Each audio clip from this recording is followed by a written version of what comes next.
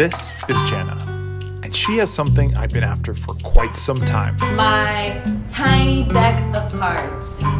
So, Jana has this little charm necklace that contains the smallest cards I've ever seen in my life. Possibly the smallest in the entire world. Now, I've memorized a lot of cards in my life, but I want to memorize the smallest one. So, where did you get this thing, by the way? Um, I found it. I did a search for it. Um, I'm not sure how I discovered it. I must have found someone wearing it on Instagram or something. But obviously, there were no tags, no like sources. So I kind of just did a crazy Google search for like 14 karat tiny deck of cards charm. And um, yeah, I found a couple on Etsy, and I think I got this one off eBay. But um, I think it's from uh, the 50s, I want to say, and Oh, it's it's, it's like. it's vintage. That's yeah, what vintage means, yeah. yeah. And you've never checked if all the cards are there, right? I have not. I'm too You're scared to, to to touch them, but they're they're in there. There's a bunch of little thin Yeah. All right. little baby cards. So we counted all the cards to make sure that they were all accounted for, and we counted exactly 52. Although one was a joker and there was no seven of clubs.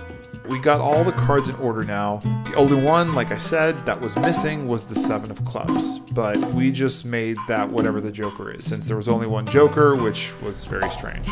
All right, so for those of you wondering how I'm going to approach memorizing this deck of cards, the answer is like I always do. PAO, person action object. Um, I have a more complex system, but I don't think I'm going to bother with it here. I'm just going to do three cards per location in a memory palace. And then, yeah. Any questions, Jana? How long is this gonna take you? I don't know. A few minutes? A minute? No, you can do this in like 30 seconds. Yeah, but we'll see. These are very small. Size doesn't matter. Keep it PG on my channel, okay? So now we verified all the cards are there. I'm gonna have Jana shuffle them, basically move them around with the tweezers, and then I'm gonna memorize them. No rush, just gonna memorize the smallest deck of cards in the world.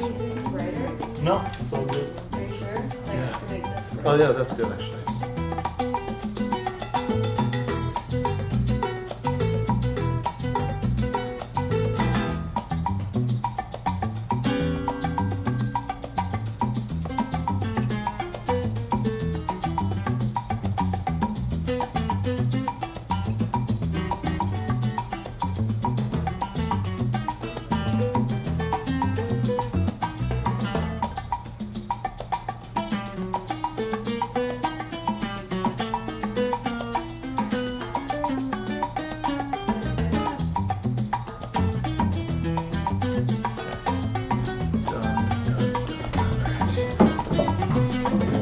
All right, okay, here we go. Um, let me know if I'm wrong. Starting from the beginning, uh, we have seven of spades, three of diamonds, ten of hearts, four of hearts, king of clubs, um, queen of diamonds, nine of spades, uh, six of diamonds, uh, ace of spades, five of clubs, jack of clubs, three of clubs, seven of clubs, or the joker we said.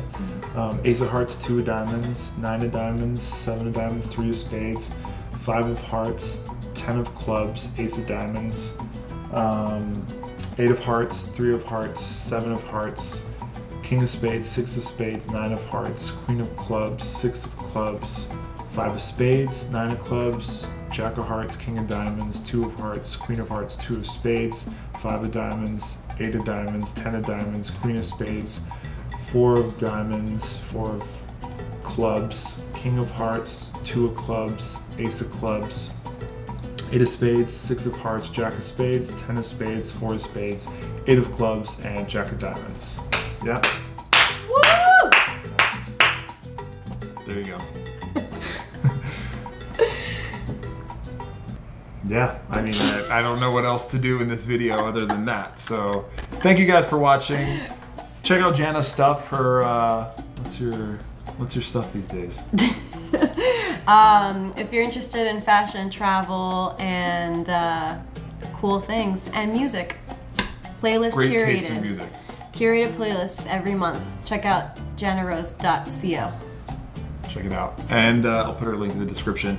Thank you guys for watching. Please like and subscribe. Uh, please share if you like this. And uh, thank you all for supporting me.